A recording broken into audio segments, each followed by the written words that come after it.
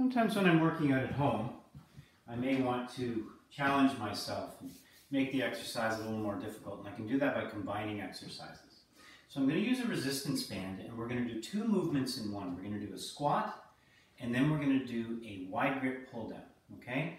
So proper form for a wide grip pull down, and I have another video on this, would be to be kneeling on the ground, holding the band not at the bottom, not where the handles are because there's not enough resistance there, a little higher up. And from here, I'm just going to pull down and pull my elbows into my sides. Go back up.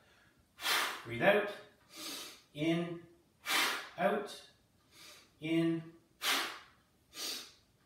That's what the pull down part looks like, okay?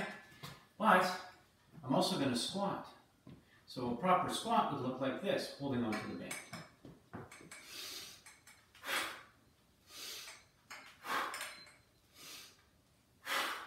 The cool thing is, is that I'm working a whole bunch of muscles here. I'm working my lats, my biceps, my rhomboids in between my shoulder blades, my upper trapezius in my upper back, and my rear deltoid muscles as I do this pull down. But as I'm squatting, quads, glutes, hamstrings, lots of stuff going on.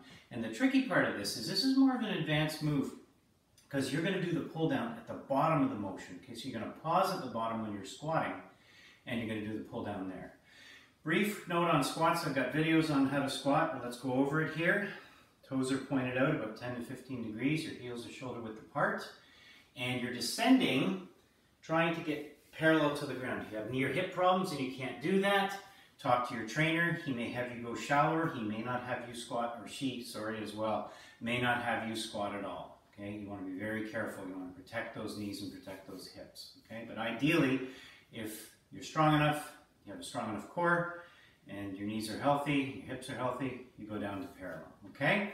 You keep a tight core, chest is out and expanded, with your shoulder blades pulled together and you're looking straight ahead, okay? Not really pulled together, just a little bit.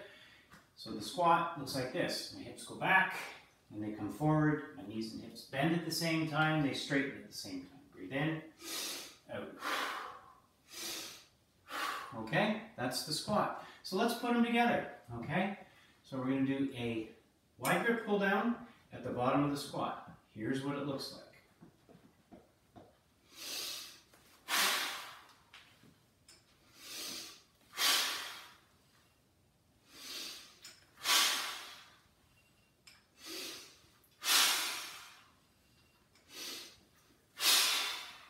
So you see it's a great way of increasing tension on the squat because you got to pause at the bottom there but also working your upper back, okay? So there it is, wide grip pull down, squat combo with a resistance band.